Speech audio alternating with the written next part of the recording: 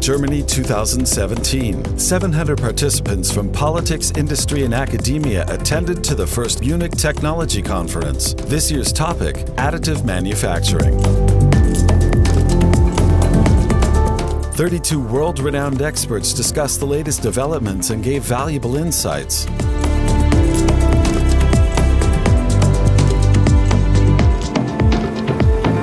Such a conference, Oerlikon, shows how we can team up and we will make with that stakeholders the next chapter in the industrialization of this society. With additive manufacturing, pieces are built in a 3D printer. It opens up a whole new playground of product and material design close to the structures found in nature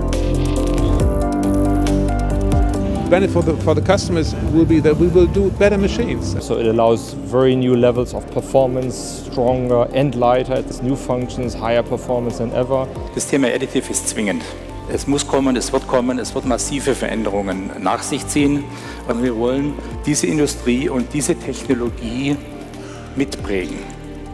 Vom ersten Moment. The conference brings together policy, industry, and research experts. They explored the potential of the new technology. Additive Manufacturing ist ein Enabler für bestehende Verfahren und kann diese effizienter und besser machen.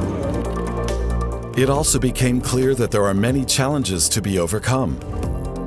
The additive will disrupt the supply chain and will uh, create totally new businesses and business models.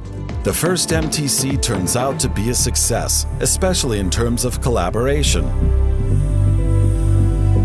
I think it's been reassuring this conference. There's a lot of uh, common direction, and a lot of potential for collaboration. I think that's really positive.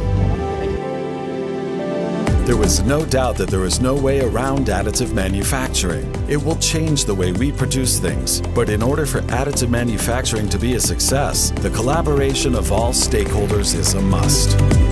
We have to work together to get this little flower of industry to become a real big tree, to become that game changer.